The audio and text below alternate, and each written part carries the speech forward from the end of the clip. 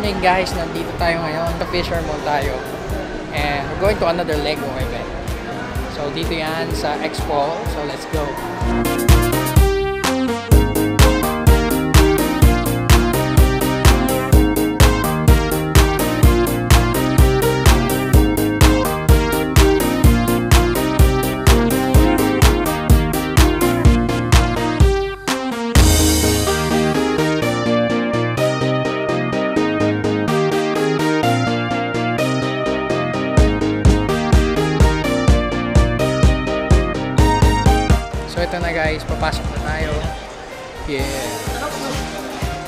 The event. Yan, hi! Say hi, sir. Hi! so yan, all the enthusiasts are here. Ang aga ko lang. So we're looking for Sir Noel. 57 3 Picking point. So dito tayo number 4. Number 4. Yo. So you know, we're here, Brick Brick. Sir, hi, Hi. Sir Noel. Hi. Tony Store. Morning. Yeah. Yun, Nandito kami atraso kasi ako Sir Noel. Mabayad lang ako. Pariya lang. Yeah. So we're here. Kasi sir, we're promoting the community. Oh, nice, nice. Sa vlog. So Alright. yun. So magtitingin lang muna ako and Sige. bayad ako utang.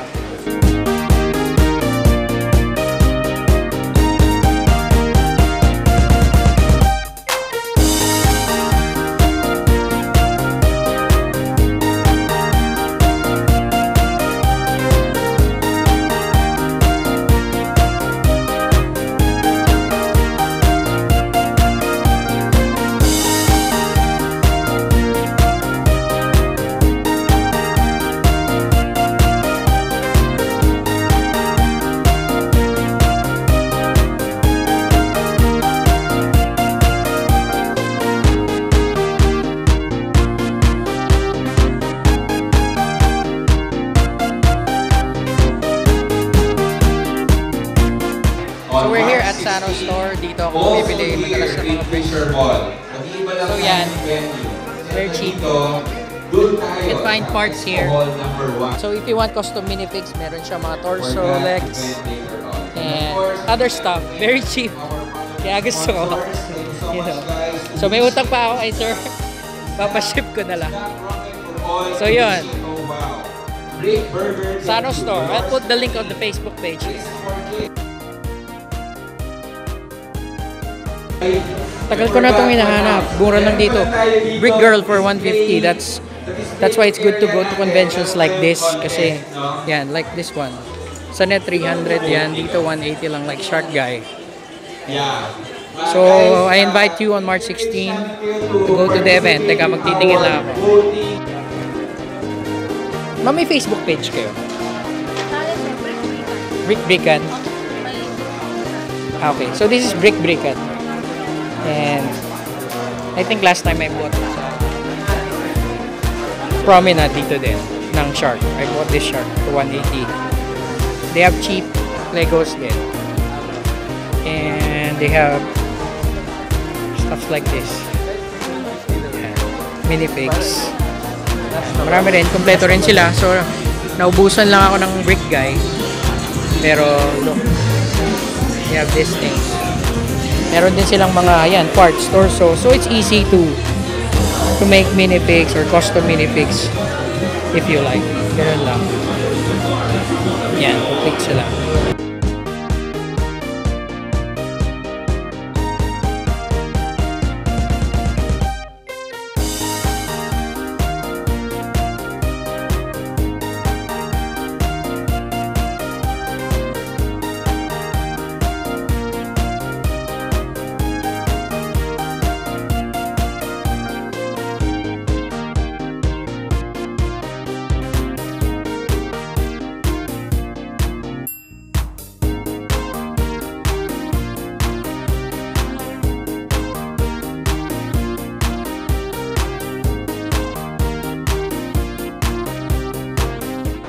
Natin yung mga utang natin.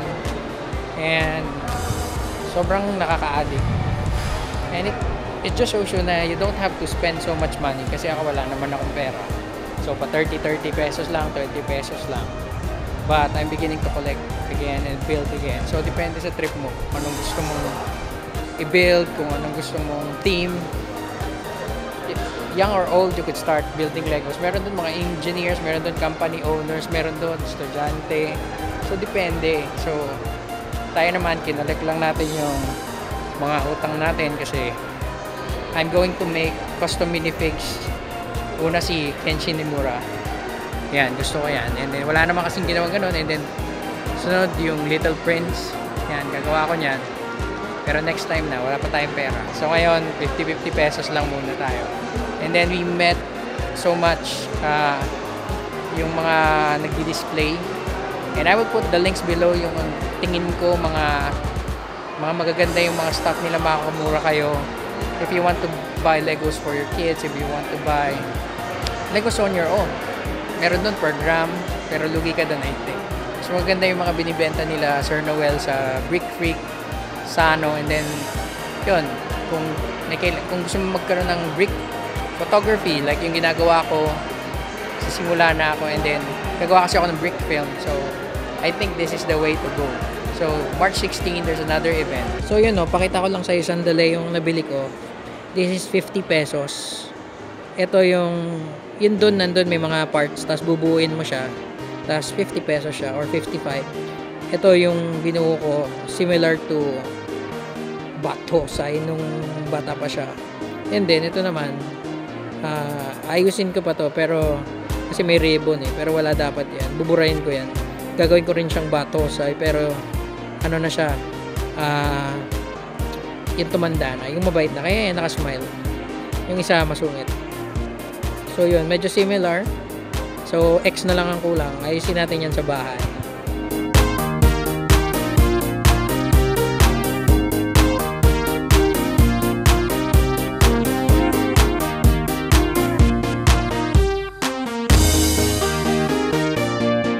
Pala yung Fisher Mall. Naghanap akong tatampo yan. Uh, mukhang sa labas pa. Pero pag wala, uwi na tayo.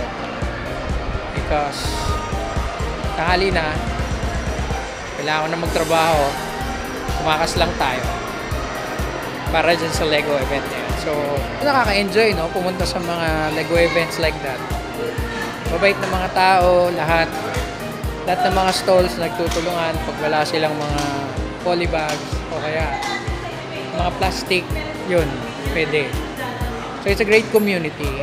Kaya gusto ko sana encourage yung mga tao na there is a community like this for Lego people in the Philippines. So, kaya advocacy natin na buhayin natin yung community ng Lego sa Pilipinas. Kasi sa ibang bansa, sobrang popular siya. And sobrang, ano siya, uh, educational. Like yung, you can make robots, tapos yun nga, yung mga, yun yung pinaganda doon na kahit yung mga lumang figs. So yun, okay dito kasi pagpapunta ng parking lot, may elevator. Hintay na lang natin, basement 1 yata ako. So yun, punta na tayo sa ating uh, motor, motor, motor. So upper basement, pagkat mo motor ka, yung pala yun, naligaw ako, nagpunta ako basement 1. Pero this, this time tama na tayo. So, back to work na tayo guys. See you later.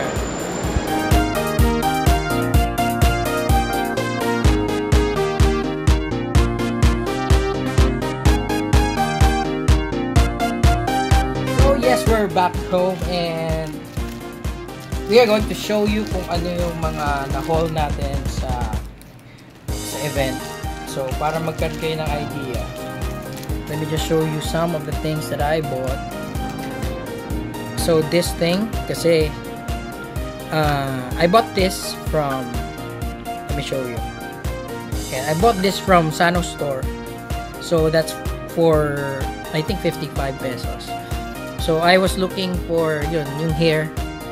Dapat pag mold pa ako pero nakita ako ng red hair. So yun, good thing.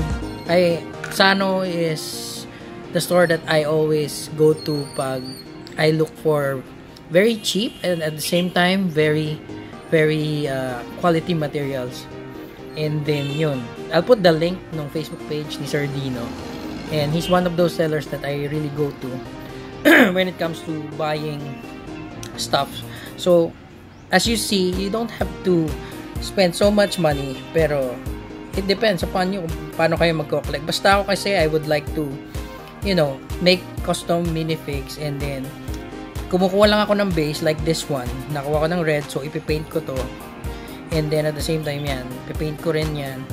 So I'm making a yon bato say na minifig kasi hindi naman siya ginawa. At the same time, I think this sword, I bought this for uh, kano ba ito nabili? 10 pesos? So that, yun. That's all. Mga 65 pesos for this one. And then, this master, ganun din. Same thing. Tapos yun. For, yun. Tapos may pinick up naman ako from Sir Noel De Leon. Brick Freak. Yan. Isa rin yan sa mga go-to stores ko pag may mga figures. Yan. So, this is the Ninjago uh, Masters of Spinjutsu yata na polybag. I got it at a very very cheap price. So if you want to check it out, punta lang kayo sa Brick Freak na Facebook page ni Sir Noel. I'll also put this link dito sa video na to. So yun, at an affordable price, I got this na ginagamit ko kasi sa Lego photography natin. At the same time, I make yun, mga quotes kasi using Lego. So we, we aim to inspire people one brick at a time. That's so this camera this camera naman I got from Eman store. Yan. I, I got a lot of stuff from Eman store. Let me show you. Very, very cheap lang. This is, I think, 10 pesos yata. And also, cups. Cups and then magnifying glass. Yan. I got it from Eman store. And I have a, an order from Lego Haze. Lego Haze kay ma'am. Uh, yun din, marami rin siyang mga cool stuff. Uh, almost all the traders there. Yan, Brick Brickan. Brick Brickan, I got what? Let me see. Ano ba yung nakuha ko? Yun, I was looking for this girl. Brick Girl, Brick Brickan, yan. Yung shark ko, dyan ko rin nabili. Kay ma'am, sa Brick Brickan. So, most of the sellers there, they they do sell some quality stuff at uh, an affordable price. So, marami tayong, yan, ito, like this one. This is from Brick Freak din. Nabili ko Brick Freak. So, kaya ako bumili ng heads kasi gagawa ko ng Lego Sanosuke. So, buburahin ko yan. And then, at the same time, yung next project ko is the Lego Little Prince and the Lego Combatron. Yan. I will be doing those stuff. And, that's why I'm I'm trying to help out the community and promote this to my vlogs na to encourage everyone na you know, instead of buying yung mga fake, meron ako mga fake dito eh. Pero iba kasi ito eh. But I I bought some fake figs kasi gagawin ko nga na i-model ko lang through sculpture pero iba eh. Iba yung yung yung hinges, iba yung madali talagang masira at at the same time, alam mo hindi quality. So better yet, there are people like this and there's an event like this that's happening almost every month now na you could go there meet great people who loves to collect Lego and learn from them and at the same time ba you you it's it's value for money if you want to go into like David yung friend ko Lego mosaics then you could go there buy some parts at an affordable price Now, if you're like me who wants to make custom minifigs and at the same time use it for photography, ako naman din, I will make a brick film. That's why I'm buying stuff, mga small stuff like this, Apple, and other stuff. Babalik pa ako. But, yun, and you don't have much budget like me. So, I'm, I'm just beginning with this Lego journey and I, I'll be sharing this through this vlog.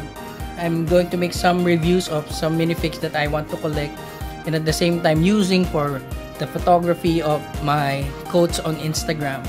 So, yun lang. I just like to share it to you. So, March 16, uh, it's a big, big event at Fisher Mall. And I think there's a smaller event this March. Nakalimutan ko lang yung date. But, I invite you to go there and I invite you to check the Facebook pages of the sellers.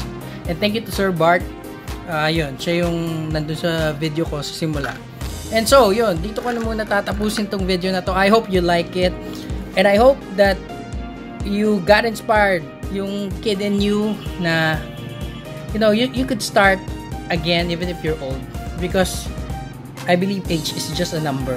And when it comes to passion, when it comes to Lego building, when it comes to hobbies like this, it's something that at the end of the day, you felt like you have achieved something. Hindi lang yung paramihan ng pera sa pagbili ng mga mahal na mga mga mga yun, mga series ng mga Lego Lego stuff, no? Pero hindi yun eh. It depends upon you kung anong trip mo eh.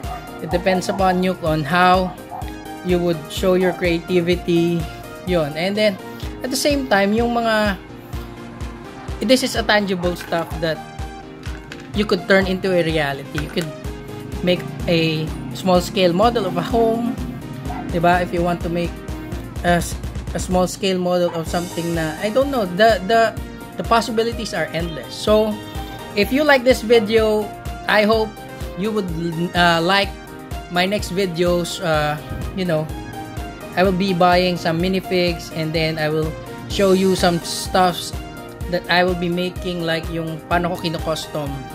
That's on our next video. So, if you like my channel, I will be posting this on my main channel which is Tony Stork and also on my new channel which is dedicated to Lego building and to the BTC community which is Tony Bricks.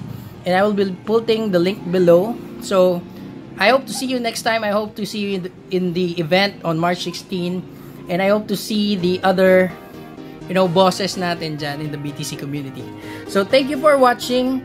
Uh, God bless everyone. See you on the next event.